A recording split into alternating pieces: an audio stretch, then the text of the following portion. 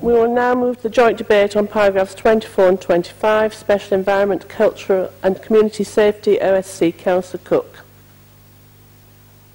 I'd like to uh, formally move this, uh, this, um, this motion, uh, Ms Clapp. Thank you. And Councillor Jacobs is going to open. Thank you. Thank you, Madam Mayor. Um, it's no exaggeration to say that uh, the removal of waste and streets, sweeping the streets are two of the most important things that we do as a council. They're two of the universal services that touch all our residents' lives, and if they go wrong, we all hear about it pretty quickly. Fortunately, we actually have a very good reputation in this area. Last year, the council's street cleaners, for example, collected more than 9,500 tonnes of litter and fly-tipped waste. That was actually up by 790 tonnes from the previous year, but at the same time, complaints fell to a 10-year low, showing that uh, uh, we really are on the case in dealing with the uh, inevitable problems that you get in living in a busy city like London. Um, of course, uh, in addition to being very important services, they're also very expensive services, and that's really the backdrop to the, uh, the contracts that we are discussing and debating this evening. Uh, and of course, the backdrop to setting these new contracts is, of course, the car crash in the UK public finances. Uh, that means that we as a council simply have to make savings. Uh, not our own fault, it's a, it's a constraint that's put on us. Of course, you can't make savings without impacting the level of service. Uh, it would be foolish to pretend that there will be no change in the level of service in these contracts. But what we can do, and what I believe we've done magnificently, is deal the, the hand that has uh, been, sorry, played the hand that has been dealt to us uh, magnificently. We've got the savings that we need to deliver to our local taxpayers, uh, and we've got the services maintained in as best a way as possible uh, to ensure that the actual frontline impact uh, is absolutely minimized. Uh, and to sort of quantify that for a moment, the uh, new street cleaning contract will see savings of more than half a million pounds for each and every year of the eight-year contract. Uh, and the refuse and recycling contract delivers savings of more than £900,000. Uh, and yet we are still spending a significant sum on both of these services. Uh, the street cleaning deal is worth more than £4 million annually, and the refuse contract £5.4 million. So yes, we are making some savings here, but we are still putting out the, uh, the putting a considerable investment into frontline services. And most importantly, aside from the figures, what does it actually mean for residents? First off, it preserves the refuse collection on a, on a weekly basis. Wandsworth is not going down the fortnightly collection route that some other local authorities have done. It's a blind alley and we're not going down it. Second, we're moving to five-day uh, rubbish collection uh, which will mean that the uh, Saturday morning collections in Putney uh, that currently exist are moved into the week. And having been uh, canvassing for Councillor Ryder in Thamesfield with the backdrop of the dust cart going by, I imagine that's actually going to be very popular uh, in his neck of the woods. We're going to maintain the orange bag system. The orange bags will continue to be delivered directly to residents' doors. They will continue to attract more and more uh, items of, of uh, rubbish that can be put in there, different items of waste. We're preserving, because we went out and we consulted with the public using that online consultation, uh, the Christmas tree collection in January. It was a potential big saving, but residents were against it, so we are safeguarding that service. We've uh, put in a £250,000 uh, budget uh, contingency fund to deal with uh, any, uh, any events that arise, and that's really put in flexibility into the heart of our street sweeping service. Uh, and of course, very importantly, and, and, one of the things that residents in my ward uh, constantly point out, we are improving uh, the connection between the refuse service and the street sweeping service. Uh, it's, it's, good, but it could be a lot better, and we must make sure that uh, the refuse service is never the accidental cause of litter. Um, we're also preserving uh, half a dozen street sweeps of our busiest town centres, Tooting and Battersea Junction, Clapham Junction. Uh, and the other town centres will be cleaned at least three times a day. Um, of course, when I was a local councillor in Tooting, I uh, uh agitated very much to uh, uh, Malcolm Grimston, who was the cabinet member for the environment at the time, to increase the number of street sweeps there. And uh, it's true that they're being reduced, but thankfully, since that time, we've introduced the time banding for the collection of commercial waste, and that has dramatically improved the street scene in our town centres. Um, the contracts also uh, continue to set out uh, those kind of value added extras, if you like, the removal of detritus from private alleyways where there are potential health risk, uh, and, uh, and the removal of uh, autumn leaves uh, that can be a slip and trip hazard. I think, in conclusion, both of these contracts fulfill our twin aims of delivering value for money for the taxpayer while safeguarding services as best we can in a very difficult financial environment. Thank you. Thank you, Councillor Jacob. Councillor Boswell. Uh, thank you, um, Madam Mayor. Um, as this council continues to pare public services to the bone, this latest cut to uh, uh, end late afternoon, early evening cleaning of our town centres and late night cleansing of areas with very high footfall is short-sighted to say the least. Madam Mayor, this decision will have a detrimental, detrimental impact, particularly on Tooting Town Centre, that Councillor Jacob has mentioned, but also Putney High Street and the shopping area around Clapham, Clapham Junction. The council claims to be on the side of businesses, but this claim seems hollow when these latest cuts will do nothing to help attract shoppers to Wandsworth town centres or boost the nighttime economy. Tooting, Broadway Tube Station alone has over 40,000 enters and exits each weekday. 50% of these in the late afternoon, early evening. But this is precisely the cleaning cut between 4 and 9 o'clock that, that has been cut, and that daily cleansing of that high footfall area will no longer happen. Putney High Street already has some of the poorest air quality and highest pollution levels in London, and now Putney residents and visitors will be faced with some of the capital's dirtiest streets at night time as well.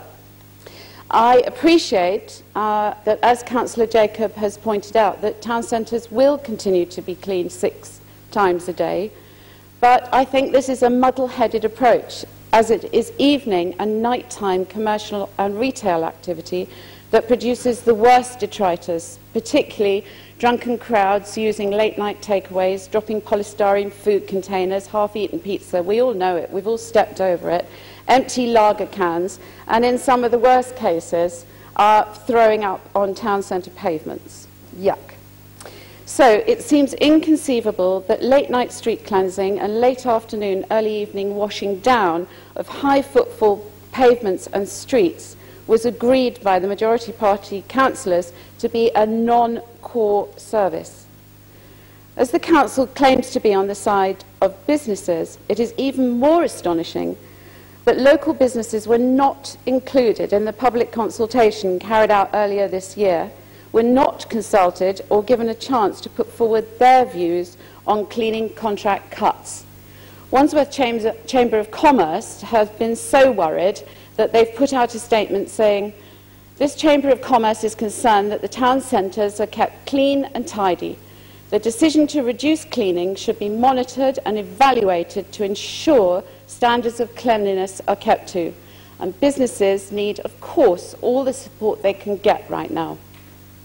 In addition, the 48% of local residents responding to the public consultation who oppose these reductions to town centre cleaning have had their views dismissed. What's the point of carrying out a consultation if you're not going to consult with the most heavily affected groups, in this case local businesses, and, and Councillor Govindia has just made much of uh, the fact that this council listens, but actually where you have consulted with the public but you haven't listened to what they have to say. So, whilst it is welcome that the new reduced contracts will, I know, be closely monitored for any adverse effects, I think before these cuts are implemented next uh, April, you must properly consult with businesses, local chambers of commerce and town centre business representatives, and I think you should also review the timings for street cleansing um, in to um, include the nighttime rounds and the early evening rounds in the new contracts. Thank you, Councillor Boswell. Councillor Cooper. Thank you very much, and fellow councillors. Um, uh, Councillor Boswell has uh, talked um, a bit about the uh, poor outcomes that might be anticipated from uh, the selection of some of the uh, non-core items. Um, at the committee, we talked about some of the other items which are also big ticket items and we felt that continuing to spend £300,000 a year on um, the orange sacks being delivered out to people rather than encouraging people um, in a possibly a, well, some people might even call it a big society type way to actually go and collect the sacks and to deal with their own Christmas trees and, and a number of other items um, might be a better approach. Um, unfortunately, it looks as though not just Tooting but Clapham Junction um, is going to share the same fate. But worst of all, as Councillor Boswell was also saying, um, is going to be Putney High Street, uh, which is likely to lack both cleanliness and also very, very poor air quality.